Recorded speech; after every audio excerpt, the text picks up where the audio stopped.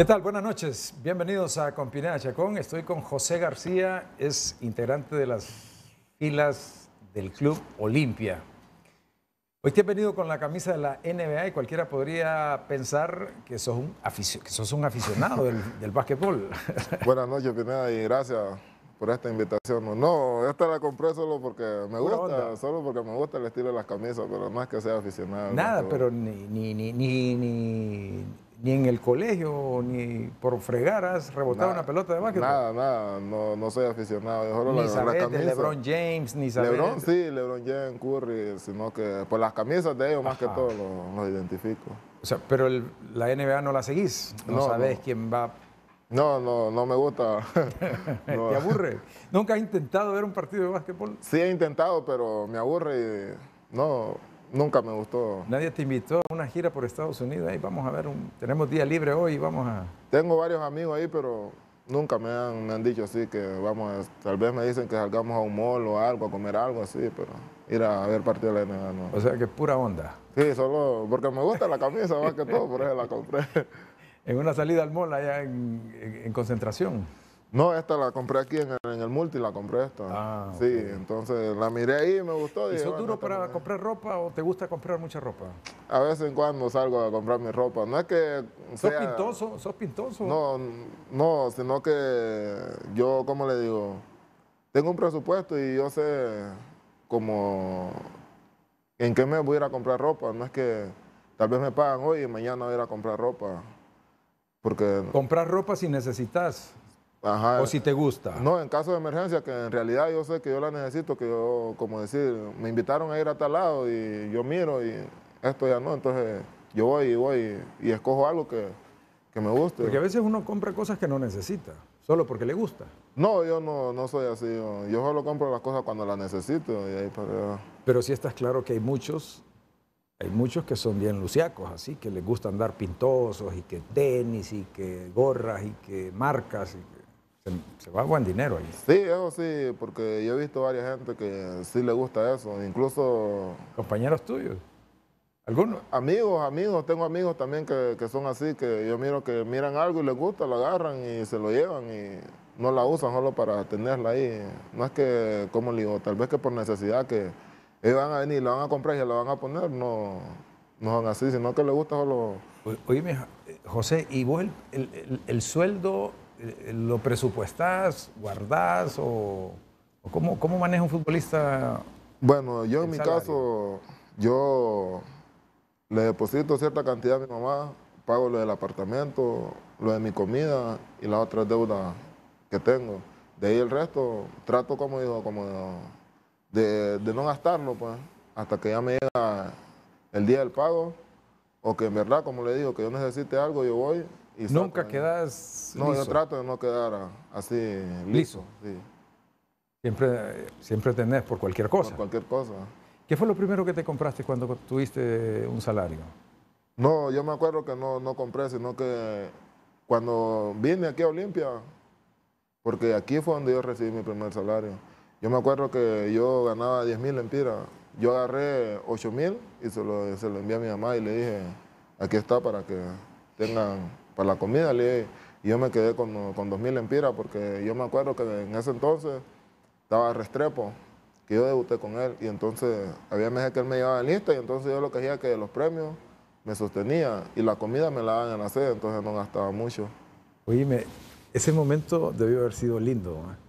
La satisfacción de darle a mamá un- el 80% de tu salario. Bueno, y la verdad que yo hasta ahorita lo hago, porque si yo manejo mi dinero, yo lo gasto todo. Entonces, lo que yo hago, que yo se lo deposito a mi mamá, y si dado caso, llega el momento que yo ya no tengo, entonces yo le llamo a ella, mamá, fíjate que este día te Ayúdame, necesito. mandame algo. Ajá, y entonces ella viene y me lo Es como una caja de ahorro. pues. Ajá, y ella me lo pone a la cuenta y, y ya está todo ya.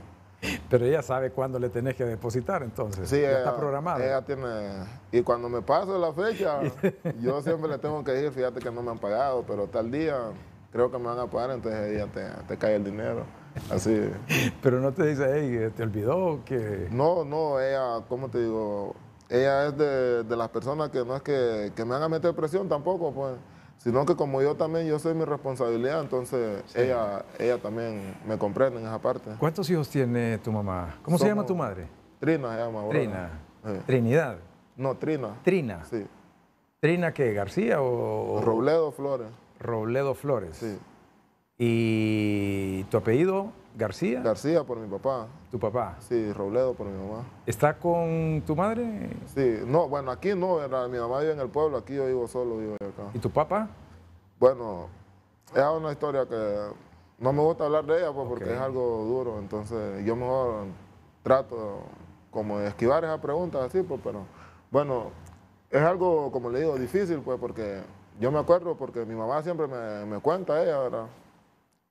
Y yo tenía creo como cinco años y mi papá se, había ido la primera vez para Estados Unidos, me cuenta ella, en el 98, yo nací en, ese mes, nací yo, en ese año que día.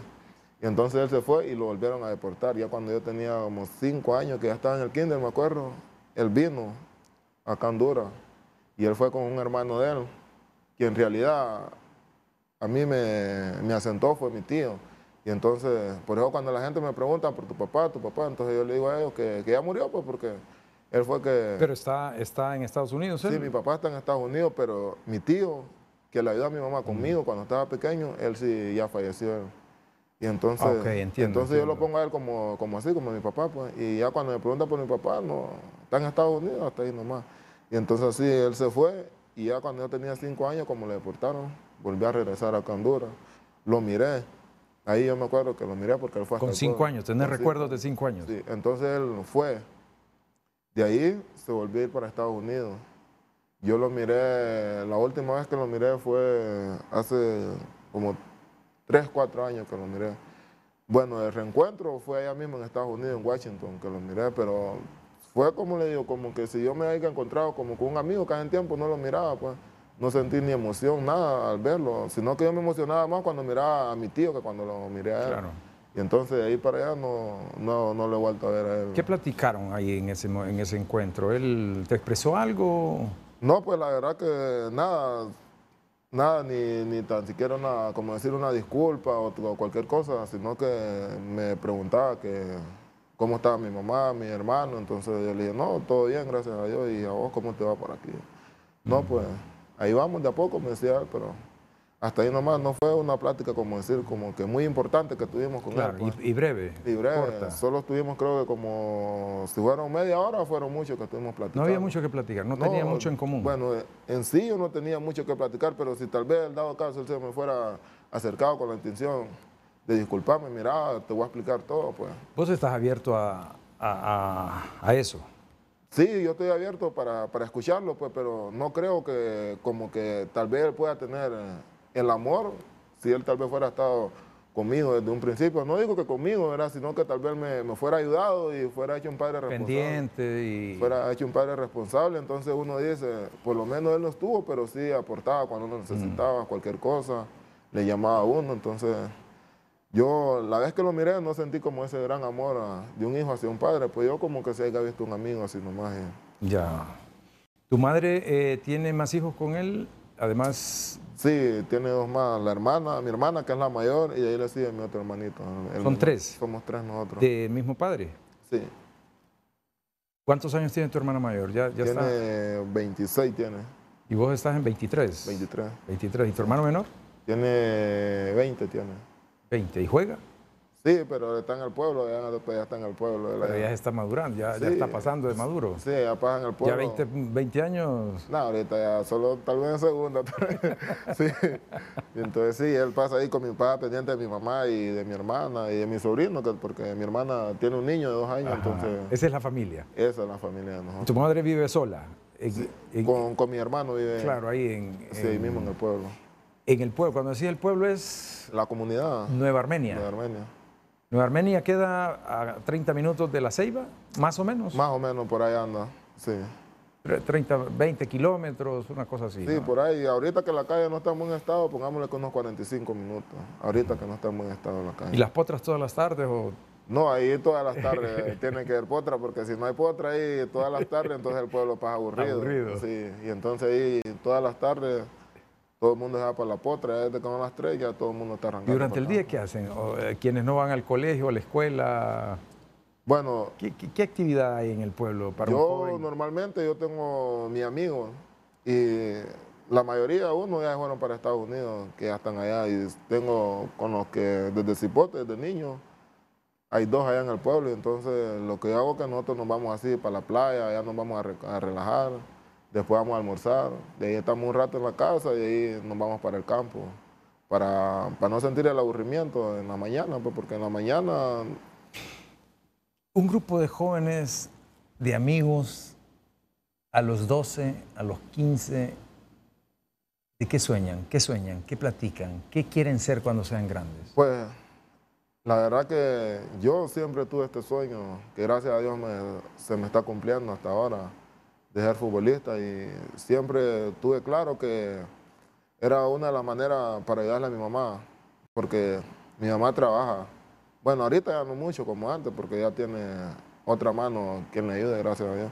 Y entonces yo siempre me enfoqué en ese, que ese era mi sueño, pues, de ser futbolista y todo. Yo no pensaba en nada más, sino que en esto es lo que Dios me ha dado, gracias a Dios. Y ahorita que tengo otros amigos que estudiaron, pero unos se salían del colegio, otros trabajaban, pues siempre por la misma causa, para llevar algo para la casa, porque vivir en el pueblo no, es, es así como, como le digo, es bien difícil, pues, porque hay veces que no es para la, para la comida, pero la ventaja de nosotros que ahí tenemos el mar y todo eso, nosotros lo tenemos ahí cerquita, entonces es como le digo, es como una fuente de trabajo, pues. Entonces, uno nos íbamos para la playa, otros buscábamos qué hacer. O sea, de, hambre no se sufre o de No. hambre no se muere nadie. No, ahí no se muere. El que se muere Siempre- porque quiere. sí. Siempre hay algo. Siempre un hay algo. plátano, que se, de ahí hacen la machuca, Sí. ¿verdad? Así le. Sí, la plátano, Con lo más. Eh, pescado. Siempre hay algo. Siempre hay algo para comer ahí. Pero lo que a veces se marchita son los sueños. Eso las es. oportunidades, hay que buscarlas. Sí, porque a veces hay gente que no tiene, ¿cómo le digo? Alguien así que le ayude, que lo motive, que le dé consejos, que le diga, venite para acá que yo te voy a ayudar por mientras. Eso es difícil cuando uno no tiene. Y el eso. oficio, no, no hay un oficio, la carpintería, la mecánica o la. eh, no hay, no hay la albañilería o ser un constructor, no digo ser un ayudante de albañil, que por ahí comenzás, pero un sueño por, e- por ese lado tampoco sucede. Eso es lo que más hay para lo de albañil. Yo, bueno, uno de mis mejores amigos a eso se dedicaba, que fue para Estados Unidos, a trabajar con un primo mío de albañil. Y él tomó la decisión de irse para, para Estados Unidos y pues, gracias a Dios, llegó. Muy bien. José, vamos a ir a pausa comercial. Cuando regresemos seguimos platicando para conocer quién juega en la central del Olimpia cada vez que juegue el Olimpia, o la mayoría de las veces está siendo titular, ¿verdad? Y saber que eres de Nueva Armenia, que le ayudas a tu madre y que tienes sueños por, por cumplir. Volvemos en breve. No. Gracias por continuar con nosotros. Estamos platicando con José García. Eh, me, me- me inquieta mucho y, y descubro el patrón de, de vida, y lo platicamos en la pausa con José, que es el sueño tiene que ser fuera de, cumplir sueños tiene que ser fuera de donde naciste, creciste y llega un momento en que el futuro está en otro lado. En La Ceiba, en San Pedro Sula, en Tegucigalpa, y de ahí selección y volar. Tú tienes un ejemplo, el, el ejemplo de Maynor Figueroa, que es del mismo pueblo, ¿no? Sí. ¿Qué te, qué te- qué te comenta Maynor?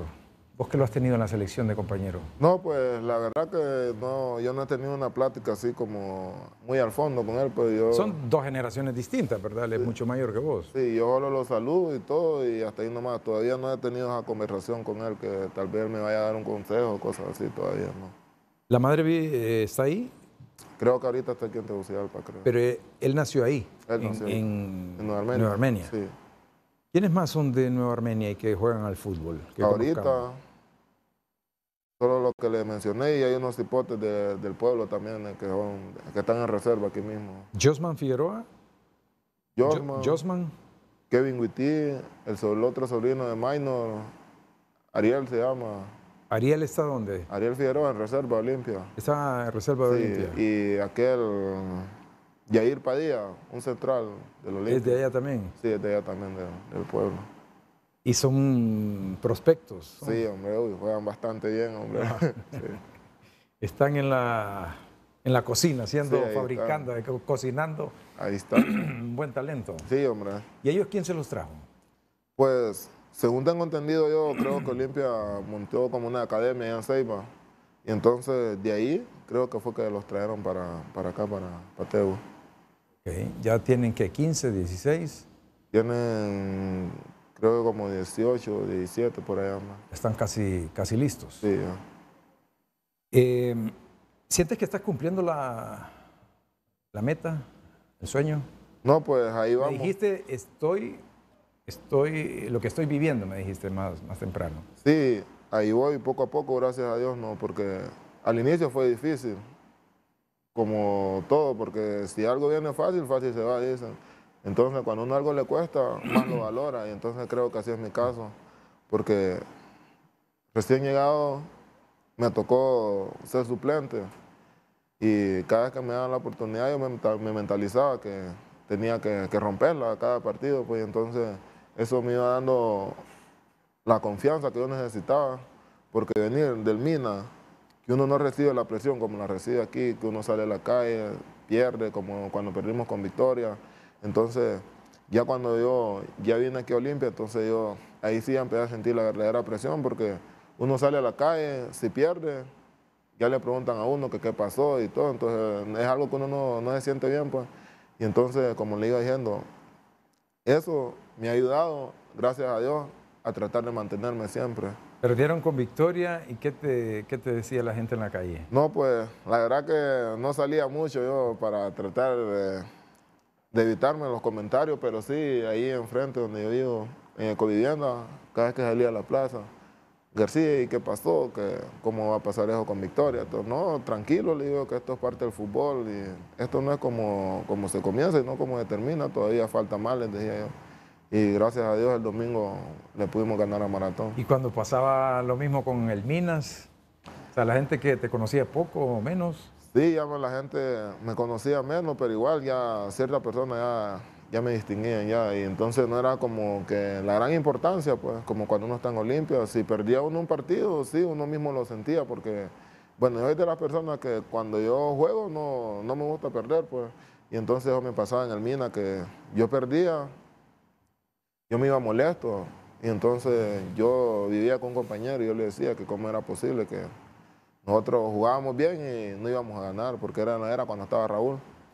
Pero ya después yo ya, iba entendiendo ya que no todos los partidos podían ganar, unos se iban a perder, otros iban a empatar, otros iban a ganar. pero siempre a mí me han enseñado que si uno va a perder, tiene que perder de la mejor manera, pues. Porque no puede venir un equipo y jugar con uno como uno quiera y si le va a ganar a uno, tiene que sudar más que uno. ¿Vos fuiste al Minas porque no había oportunidad tanta en, el Olimpia? Sí, ¿Fuiste a préstamo? Sí, yo me fui a préstamo dos años para el Minas porque trajeron a un argentino, trajeron a Leverón y entonces yo ya miré que ya no, no había oportunidad y además la primera vez que yo me fui estaba aquí Oceán. Y entonces yo hablé con un compañero, entonces él me dijo que, que hablara con, con JC, con el profe. Y entonces yo hablé con él y le dije, profe, le digo, fíjate que yo me quiero ir porque aquí me va a ser difícil jugar y usted sabe que tiene lo de la selección. Le dije yo, entonces yo no quiero perder selección pues porque es una vitrina para uno y que ahí uno en cualquier momento puede dar el salto que uno necesita al extranjero. Entonces él me dijo, no te preocupes, me dije, yo voy a hablar con el profe y yo te lo comento después para que platiques con Osman y, y, y él te diga si te vas o te quedas. Y, yo me acuerdo que yo estaba con Carlos, Carlito Pineda. Nosotros dos fuimos a hablar con Osman en la vía y entonces él nos dijo que sí, que ya había hablado con la gente. Y Raúl ya me había llamado también. Y Osman nos dijo que nos presentáramos ya a entrenar con el Real de Minas y yo me presenté y todo y todo salió bien, gracias a Dios. Eh, ¿Entendías la diferencia que hay entre un equipo y otro? ¿Estabas dispuesto a asumir la, la, la diferencia? Sí, además era un gran riesgo que, en el que estaba metido, ¿verdad? Porque todo el mundo hacía descendido de Almina. Creo que estaba como a 20 puntos de, progreso, a 12 de, vida. y a 8 de Juticalpa. Entonces yo platiqué con mi familia y todo, más que todo con mi mamá. Yo le dije que tenía la oportunidad de irme para otro equipo a jugar, pues, pero estaba corriendo riesgo a que descendiera. Entonces ella me dijo que si era bien para mí, pues que tomara la decisión. Entonces yo, yo vine y me arriesgué y bueno, dije, que sea lo que Dios diga aquí. Yo me fui. No fui, bueno, nos fuimos con Carlito, ¿verdad? Y ya todo iba bien, gracias a Dios. Yo me acuerdo que el primer partido que jugué, lo jugué en Danlín, lo jugué contra Motagua, que perdimos, creo, 3 a 1, creo, 4 a 1. El otro empatamos aquí en Juticalpa. De ahí íbamos ganando, empatando, ganando, empatamos. Y un, una jornada seguida de tres partidos en una semana. Entonces jugamos miércoles, ganamos el miércoles, jugamos, no, jugamos domingo, ganamos, jugamos el miércoles, empatamos y el fin de semana que ganamos, hicimos los siete puntos, como el profe Raúl nos platicó y desde ahí, gracias a Dios, nos empezamos a levantar ya con el equipo. ¿Y te vuelve a llamar el Olimpia? Me vuelve a llamar Olimpia y entonces es cuando ya traen a, al argentino, llevaron a Leverón, yo ya no, ya no miraba ya por dónde ya, entonces yo vine y me la Pero ya estabas con Trolio. Ya estaba, ya estaba Trolio. Entonces yo vine y me la acerqué y le dije, profe, fíjate que yo necesito irme porque viene lo, de la selección. Yo me acuerdo que íbamos para, para Perú, íbamos nosotros a los centroamericanos. El Panamericano. El Panamericano. Y yo le dije a él, profe, mira que yo necesito irme porque yo necesito jugar y aquí se me va a hacer difícil por lo que veo. Digo yo, yo puedo competir, pero usted sabe que a la larga usted es el que toma las decisiones. Y yo me acuerdo que él me dijo, yo en tu lugar, yo, iría, yo haría lo mismo, me dice él, porque yo no sé si vas a empezar jugando o vas a terminar jugando, me dijo él, pero yo creo que la mejor decisión que tomaste es que, que te regreses de nuevo. Sí, le dije yo, yo me voy a regresar sin ningún problema. Entonces yo contacté a Raúl y le dije, profe, fíjese que ya hablé con, con el profe Trolli, entonces quedó que a ir de nuevo para Mina. Entonces él me dijo, no, no hay problema, voy a que aquí tenés las puertas abiertas y te puedes venir para acá tranquilo. Y entonces yo me fui para, para donde mi mamá, era mi mamá y a mis hermanos. Y entonces Raúl me llamó, bueno, me llamó el gerente del equipo de Olimpia que me tenía que presentar el día siguiente a los entrenos. Y yo le dije a él que yo había hablado con Raúl y que Raúl ya había hablado con Osman. Y entonces me dijeron que me tenía que venir y yo estaba, yo me acuerdo que yo estaba con mi mamá. Entonces yo le dije, mamá, me toca regresarme porque mañana me toca entrenar. ¿Y cómo, te, cómo la haces para irte? Me voy a ir en el bus de las 11 que sale de Ceiba para, para acá, para Teo. Entonces me dijo, ah, bueno, entonces dile a alguno de tus primos que te vayan a dejar a Jutiapa y Jutiapa agarrar un bus. Y entonces, cuando yo ya estaba listándome, me llamó Raúl y me dijo que no, que me quedaran de, mi familia y que me viniera el jueves. Un jueves era. Porque el fin de semana nos tocaba jugar. Entonces yo me quedé todos los días allá. Me regresé un jueves, el viernes entrenamos, en la tarde viajamos y el sábado estábamos jugando contra, contra España. Eh, ¿Sentías que, venías más jugador, más hecho? No, pues la verdad que sí, porque Olimpia, la formación que le dan a uno en reserva no es en cualquiera, en cualquier reserva aquí que le dan a uno, porque ahí le, enseñan a uno varias cosas. Entonces yo cuando ya fui al Mina ya no se me hizo difícil porque yo ya tenía el conocimiento de todo lo que me habían enseñado. Y entonces yo lo que ocupaba era como, como agarrar ese, ritmo constante de estar jugando. Pues entonces yo me acuerdo un amigo que me dijo, usted lo que ocupa, Lero, es solo estar jugando, Miguel, y ya a ver, después de tres partidos, ya a ver la confianza que va a Y gracias a Dios así sucedió, entonces ya después ya, ya jugaba ya más tranquilo. Como cuando andas en bicicleta.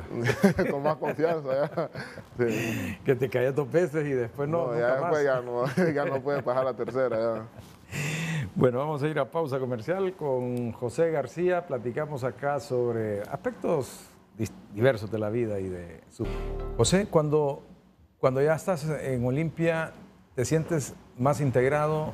¿Te sientes más importante eh, porque jugás más? Aunque al principio seguramente no fue tan fácil. Sí, bueno, al principio no... ¿Qué te decía Troglio? ¿Qué, qué, te, ¿Cómo te recibió y, y, cómo te convenció de que estuvieras preparado que en cualquier momento te daba la oportunidad? No, pues la verdad que yo cuando yo ya volví a regresar a Olimpia, no se me hizo difícil porque cuando yo me fui, la misma persona que cuando yo regresé ya estaban ahí, entonces ya, ya me conocían. yo ya teníamos confianza con ellos porque siempre yo trataba como de, de, estar en plática con ellos, pues, porque yo sabía que en cualquier momento me podía llegar eh, de, de nuevo el llamado, entonces yo traté como de no alejarme de ellos y entonces no, de esa parte no, no se me hizo difícil. Y entonces ya a la hora de jugar tampoco porque por la misma, ¿cómo le digo?, comunicación que teníamos, entonces ya, ya teníamos más confianza y todo. Y yo me acuerdo que el primer partido que me puse a jugar, veníamos de Costa Rica nosotros. ¿Controlio? Sí, Controlio, veníamos de Costa Rica. ¿Cuando pierden contra no, con la, con la, selección veníamos de Costa Rica de jugar unos amistosos. Entonces, yo me acuerdo que, que me dijeron, va a jugar de lateral, me dijeron. No, me le digo, ¿cómo me van a poner lateral siendo que yo no... ¿No fue un partido contra Motagua? Bueno, fue un clásico. ¿El que metiste un gol? El que metí el gol. Y entonces, no, ustedes están jugando, ¿cómo me van a poner a mí en lateral? Digo yo. Y entonces, yo me, me acuerdo que me dijo un compañero, o jugás o mirás qué hacer, me dijeron. entonces digo yo, bueno, yo me la voy a rifar. Y de ahí yo iba a alistarme ya para irme para la cancha. Y entonces Troble me llamó, José, vení, me le digo, ¿qué pasó, profe? Mira que Maylor, en ese entonces Maylor ya, ya estaba empezando a lesionar ya mira que va a jugar de lateral porque no tenemos otro. Me dije, ¿ha jugado ahí alguna vez? Sí, le dije yo, yo nunca había jugado. sí, entonces, sí, le dije yo, bueno, mi para el clásico va a jugar de lateral. Me dijo, bueno, le digo, no, no hay problema, no se preocupe. Y ya en la charla de él, ya paró la defensa y todo, el portero y el lateral. Entonces él me explicaba qué era lo que más o menos tenía que hacer él me dijo que no se me podía dejar difícil porque igual estaba en una zona que yo tenía que conocer porque estaba en la parte de atrás del campo, en la, defensa. Entonces no, no se me hizo difícil porque yo conozco la zona central, entonces yo, me, yo miraba lo, que hacían los laterales también. Y entonces ya a la hora de jugar no, no se me complicó y yo sabía cuándo iba a salir y cuándo no. Y todo eso me ayudó bastante. Las coberturas, los cierres y bueno, más que todo contra Motagua era como le digo, que los centrales no salíamos del área, y entonces los laterales mano a mano y ahí nomás. Entonces, como, pero a la hora que tal vez a mi, al central que estaba por el lado mío le tocaba salir a la cobertura, entonces no se me hacía difícil porque yo solo me metía ya a cubrirle el espacio. ¿eh? Entonces no fue difícil, así como le digo. Así jugaban contra Motagua, los centrales no salían de la No, no podíamos salir porque la fue, lo que hacía Motagua era agarrar la pelota y a los centros. Entonces nosotros lo que hacíamos que tomábamos los dos delanteros, los dos centrales y con ellos nos moríamos. Ok, pero ese partido lo jugaste de lateral. De lateral. ¿Y cuándo ir y cuándo no? Y él me dijo, me dijo, mira, cuando estés clarito pasé y cuando no, no te muevas. Entonces yo solo miré dos y en esas dos pasé, ahí no volví a pasar. Pero yo me acuerdo que metiste un gol. Eh, sí. pero fue un tiro de esquina. No, fue eh, una falta que, le, que cometieron, creo que a Pinto, y Leverón la hizo. Y quién era, Marcelo Santos me estaba marcando, a me acuerdo. Y, y como yo me llevo bien con, con Bugo, con Christopher, Ajá, con Sí, los dos tenemos una buena relación, nos llevamos como hermanos. entonces, yo me acuerdo que él estaba en la banca, ¿verdad? Y ya después del partido, yo y él nos pusimos a hablar. Y entonces le dije a él, porque Deca estaba en la banca, mira, mira, mira a García, le dije, mira, mira lo que es lo que está haciendo. Ya, decir, Marcelo se duerme. Y entonces, yo me acuerdo que cuando la pelota ya viene, yo me paro en la, en la línea. Y entonces, cuando Marcelo ya quiere correr, yo lo, lo choqué y entonces arranqué y cuando miro que la pelota ya va cayendo, me tiré y ahí la, la agarré bien, gracias. ¿Fue tu primer gol? Con, ¿Con Olimpia? Con Olimpia, sí, era, era, mi primer gol. ¿Y cómo fue ese día después de eso? No, pues la verdad que fue algo muy lindo porque mi mamá estaba viendo el partido, toda mi familia, ya después me llamaron, me acuerdo que me llamaron. ¿Ese partido lo ganaron? Lo ganamos 2 a 1.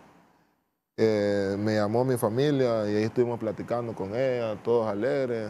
Y ya después, el día pasó eso, y ya después fuimos a entrenar y todo, alegría, porque ganamos el clásico, pues ya después nos enfocamos en lo que era ¿Y el camerino cómo fue después del juego? No, pues la verdad que... ¿Quién es el más molestón ahí? Que, bueno, ahorita... Que, dentro de la alegría molesta, mirá, eh, que sos lateral en adelante o le quitaste el puesto a Maylor. Ahorita es Bekele. Bekele. Bekele. Sí, entonces... Y ese día, ese día del gol, ese Troglio que te dijo, Pablo, Reggie. No, solo me felicitaron y me dijeron, ahora en adelante iba a jugar de lateral, me dijeron, pero ya después Mylor volvió porque ya sentía mejor, entonces ponían a Mylor. Llegaste a ser importante en el equipo de Troglio, así como central titular. Sí, gracias a Dios, no, como le digo, él es de la gente que sí sabe valorar el, trabajo a las personas. A él no le importa, como le digo, si tal vez sea un cipote, lo que sea, pues entonces con que él lo mire, entrenar bien, que usted siempre da, lo mejor, entonces él es de las personas que a la hora que le toque ponerlo a jugar, con toda la confianza, pues anda y divertirte. Entonces eso le ayuda a uno también porque uno va con la confianza, que si pasa cualquier cosa uno tiene respaldo primeramente del entrenador y de los compañeros también. En el momento, en el fútbol hay momentos lindos que quizás son menos que los momentos amargos. Hay más derrotas por estadística, hay más derrotas que, triunfos, aunque en tu caso, pues no han parado de ganar campeonatos. Gracias a Dios. Pero hay momentos malos. ¿Cuál recuerdas? La final contra México en los, eh, preolímpicos, de Guadalajara. Ese ha hecho uno de mis momentos más difíciles, así, por A pesar de que ya estabas, ya estaban clasificados, porque era la final, ¿no? Sí. Clasificaban los dos. Sí, pero, como le digo? Nosotros teníamos un grupo que nosotros, al y todo, todos teníamos la... Mm. ¿Cómo le digo? La unión, pues, y todo, si aquel tomaba una decisión, aquel no lo cuestionaba ni nadie, entonces tratábamos siempre de estar todos unidos.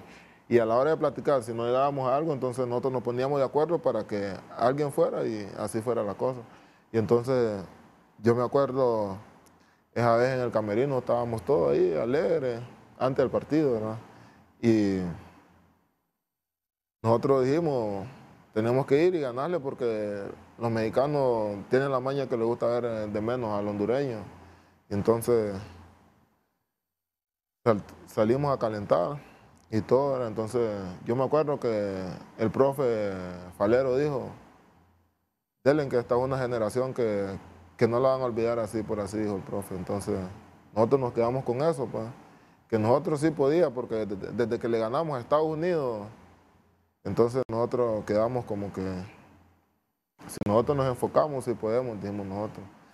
Y de ahí comenzó el partido. Fue un gran partido. Contra México.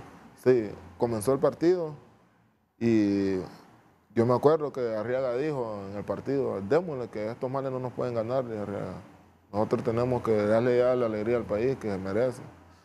Entonces, nosotros estábamos así mentalizados, pues, y a todo eso llega la lesión de Denil. De yo me acuerdo que, que Edwin metió el 1 a 0, metió Edwin. Pero igual nosotros estábamos claritos en lo que andábamos buscando, que era, que era ganar. Pues ya en el segundo tiempo, este Búho corta una jugada, entonces Búho se la da. No, a Titi le dan el pase, a Meléndez le dan el pase y Meléndez tiene que jugarla con Búho, entonces él me la quiere dar a mí. Y cuando él me la quiere dar a mí, la, deja muy corta y la agarró este Alexis Vega, la agarró. Y entonces, y al otro lado iba el, iba el delantero. Y el man me viene, viene a encararme a mí, pero yo con la misma confianza, pues. Y termina el, partido, ¿verdad? Y vamos a tiempo extra. Y me, dijo el profe, dale, Miguel, que, que vos podés. Y lo más triste es de la jugada cuando, cuando me queda aquella el, el centro de Alejandro, que me quedó a llorar y, y yo, los mismos mexicanos se me acercaron y me dijeron que, tranquilo, me decían ellos, porque que no había pasado nada. Bueno, de ahí vamos a ver los programas ahí en México. Solo llegamos todos y encendimos la televisión. Yo me acuerdo que, los periodistas, ellos mismos decían que, que a nosotros nos, robaron el partido del árbitro. Hablaban bien de ustedes. Nos robó el partido del árbitro porque el penal que pitó no, no tuvo que haberlo, haberlo pitado y que los que merecimos ganar fuimos nosotros, pero con la, con la mano que le echó el árbitro, decían ellos mismos ahí en su programa que México se coronó campeón, pero que no eran ellos que... ¿Te levantó el, ánimo eso? ¿Te levantó un poco? Pues la verdad que sí, porque al escuchar eso, de esa gente y uno sabiendo cómo son los mexicanos, entonces una, le, da un envión, un anímico a uno bien fuerte, pues, y además que yo tenía respaldo de mis compañeros y todo, entonces ya llegué a un momento que sí, me relajé bastante, pero todavía andaba con, con esas cosas ahí. pero pasa, ¿no? Pero al final pasa. Cosas que a uno le pasan, ya a la larga uno lo toma como, como una experiencia, uno ya eso. Y ya después ya traté como de olvidar eso y ya cuando llegué aquí al equipo me, me enfoqué siempre en el equipo ya. Bien. Bueno, vamos a pausa. Ese es el episodio con la selección sub-23. Cuando regresemos hablamos un poco de la mayor, porque también llegaste a la mayor, no estás en ella ahora, pero eh, una selección que quedó eliminada muy. Te toca una noche triste para todos, ya sabes. Sí, Es así el fútbol. Tiene alegrías y tiene tristezas. A mí has contado una de esa final contra México. Esa noche en el Morazán contra Estados Unidos. Sos uno de los tres campos. ¿Eh? En el Olímpico. En el Olímpico. La verdad que... ¿Qué, qué, sentiste ese primer gol de que a vos te toca en el medio campo, cuerpear ahí, te saca de posición y comienza a caerse en el segundo tiempo algo que se había construido bonito en el primero, que era ganar 1 a 0 transitoriamente. Y el técnico hace tres cambios. Uno de esos cambios fuiste vos y todo se cayó. Perdimos 4 a 1. Bueno, la verdad que en esto del fútbol uno siempre hay que estar preparado para cualquier cosa. Yo me acuerdo que debuté en Canadá contra Canadá. Jugué creo como 8 minutos por ahí. De ahí fui... Te tocó a, a Davis. Sí. Es bravo. Sí, bastante. Estaba con todo por izquierda. De ahí fuimos a El Salvador. A El Salvador, jugué todo el partido y gracias a Dios todo salió bien. Y hasta ahí ya, ya andaba una satisfacción muy buena, una alegría. Y entonces de ahí contra Estados Unidos, el profe hace los cambios y, me mete a mí aquí en el Olímpico. Me dijo que, que tenía que ir a, ¿cómo le digo?, a fortalecer ahí, pues, y tratar que, que Pulisic no, se encontrara mucho. Y entonces, Najar, yo me acuerdo que Najar estaba, estaba de volante. Y entonces, la primer, el primer gol fue un, de un centro que hicieron. Yo la quiero despejar, pero la pelota me pasa entre las piernas. Y creo le quedó al, estadounidense y se la colocó a un ángulo a Buba. Bueno, de ahí los demás goles la verdad que esa fue una otra noche de la que uno no, quiere vivir en esto. Porque ah, yo me acuerdo que iba para el camerino y Minor me vio así como que todo bajoneado, pues entonces me dijo, no, Miguel, tranquilo, no te preocupes, no pasó nada, pero él me estaba diciendo eso como que para que yo me calmara, pero yo estoy consciente de, todas las cosas. Sí, le digo, dale, no, no hay problema. De ahí fuimos a, a descansar y todo, entonces yo estaba con, esa, con eso. ¿Cómo fue esa noche? ¿Cómo pues, durmieron? Si durmieron. la verdad que, es algo difícil porque es una noche que uno no, quiere dormir, pues, solo pensando en toda en ¿Qué platicabas, por ejemplo? Con, ¿Con, quién platicabas después del partido eso? No, yo, yo lo que hacía que yo con, con mi amigo, yo siempre con mi amigo y él me decía... ¿Quién es tu amigo? Me, Frank, Franklin se llama, en Armenia. Hablando por teléfono. Sí. ¿Y el compañero de cuarto? Era Buba. ¿Platicaba? No.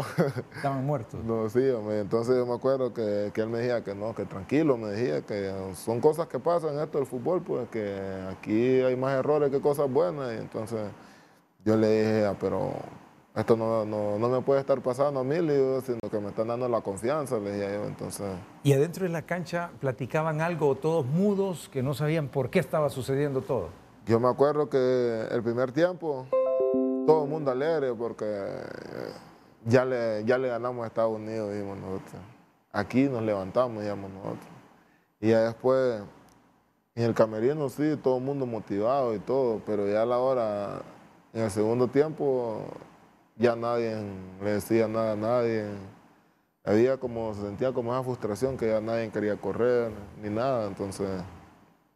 Sí, bien pesado, ¿no? Como que cayó una losa encima. Sí, todo se, bajó, se cayó, pues, porque teníamos el primer tiempo todo, todo estaba al favor de nosotros. ¿Y no hubo alguna dirección desde afuera que le, le dijeran vamos a cambiar porque está, nos, nos, nos agarraron? Sí, el, Nos agarraron y vamos a pararnos de otro modo. El profe Coito siempre trató como de decirle, como de, de motivarnos, pues, que nosotros no, no nos caéramos. Él nos decía que, ne- que le diéramos y que no nos paráramos, que nosotros podíamos, nos decía. Pero nosotros eh, ya íbamos 4 a 1, entonces ya todo el mundo así como que bajoneado y todo. Pero gracias a Dios a todo eso, que lo que más, más, más me ayudó fue, fue el profe, porque después de eso me volvió a llamar a la otra convocatoria. Y después de esa convocatoria, creo que me llamó a tres, a tres seguidas, después de eso que pasó contra Estados Unidos. Y entonces creo que, que fue eso lo, lo que me ayudó, porque digo yo que si no me fuera, no me fuera llamado, entonces fuera hecho como en en la confianza, tal vez me fuera perdido ahí, pues porque es algo que la, en la selección representa uno al país, que le pase eso y ya en la próxima convocatoria no aparezca, entonces creo que anímicamente lo No, y mata ver, uno. ver al aficionado lanzando cosas y muy mal, ¿no? Muy mal todo eso, pero eh, se te viene todo encima. Son La noches gente, oscuras. Uy, olvide que uno no solo está que, que ya me quiere ir Pero cuando volvés al, al equipo, como que empieza aclarar todo. Eh, Sí, ya en el equipo. Vuelve la alegría de, de- de- de otra historia. Sí, ya en el equipo ya, ya vuelve todo, ya todo normal. Porque, como le digo, está la, la afición, que los compañeros. los Se olvida rápido todo, José. Sí, más cuando uno está aquí en Olimpia, porque uno ya viene, a la hora de jugar, uno le, ya les da alegría a la gente que uno anda ganando, entonces todo uno. Yo digo que, que- que el fútbol te da alegrías y, y y tristezas, pero todo es rápido, es muy breve, dura poco. Dura poco la, la alegría como la tristeza, la derrota. Eh, tiene memoria corta. Y Vos ganas hoy y ya el partido siguiente tenés que ganarlo, si no es lo mismo. sí, es verdad, Te porque tiran duro. es verdad, porque miren El Salvador, jugamos, gracias a Dios empatamos y gracias a Dios las cosas se me dieron. Hasta ahí todo el mundo alegre. Ya después contra Estados Unidos me pasó lo que me pasó y ya, ¿me entiende? Entonces uno, Sí. los, los- pues, los momentos que el fútbol le da alegría a uno, uno tiene que, que aprovecharlo al máximo porque Así es. no sabe cuándo va a llorar uno después. Así es. Bueno, vamos a pausa comercial, regresamos. La nueva Sanadora Ultra elimina los hongos en solo 5 días o menos. Sanadora, ultra potente, ultra efectiva. Dígale adiós a los hongos con la nueva Sanadora Ultra.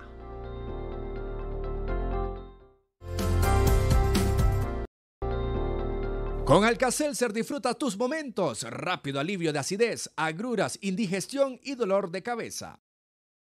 Bueno, hemos estado con José García en esta charla muy amena, repasando episodios de mucho interés en la vida privada y, y en la vida pública, que es la del futbolista.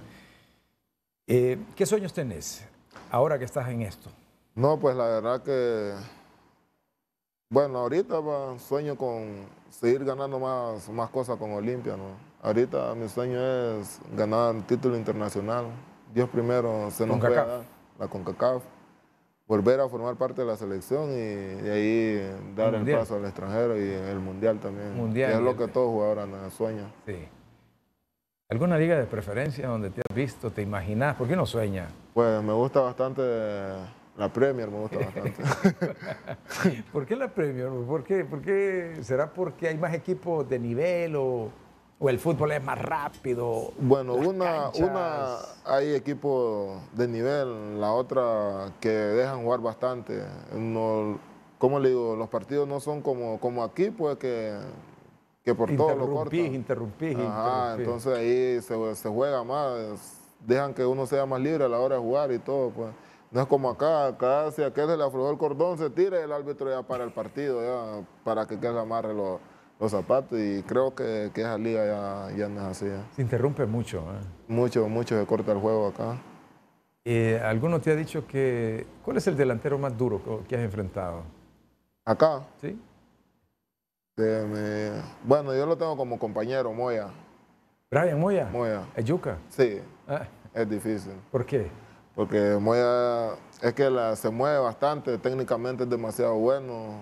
Entonces, fuerte también y a la hora de quitarle la pelota es complicado. en entrenamiento. En entreno. Y uno que lo tiene como compañero y todos los días lo mira, todos los días comparte con él, todos los días entrena con él. Ya al otro contrario se le hace más difícil. Ya. Y afuera uno que, te, que máquina este jodido. Eh, aquel, el japonés, este, Kubo. ¿Cubo? Kubo. Eh, que juega en el Mallorca y que es del Real Madrid. Es, Es, de es es bueno, sí. ¿Te lo encontraste? Sí, dos veces me lo he encontrado, ¿Y? una con la, con la 20, otra con la, con la 20. ¿Y cómo es? cuando- ¿Para dónde agarra? No, es que ahí es lo complicado, saber para dónde va a agarrar ese hombre. Entonces, es jugador, un jugador completo, pues es demasiado bueno, la verdad. ¿verdad? Bueno, José, eh, agrado de poder compartir con vos eh, esta plática y te deseamos muchas, mucha suerte, mucho éxito. Igual, Pineda, muchas gracias por la invitación y que Dios los bendiga. Un saludo a Nueva Armenia, a tu mamá, a tu familia o amigos, no sé, Franklin. Bueno, la verdad que saludo para mi mamá y mis hermanos, en realidad toda mi familia, ¿no? y para mis amigos, que la pasen de lo mejor y que Dios los bendiga. Aquí, mira, aquí. bueno, José García con nosotros ha estado esta noche aquí en Compineda Chacón. Gracias a todos por su atención. Los espero en la próxima.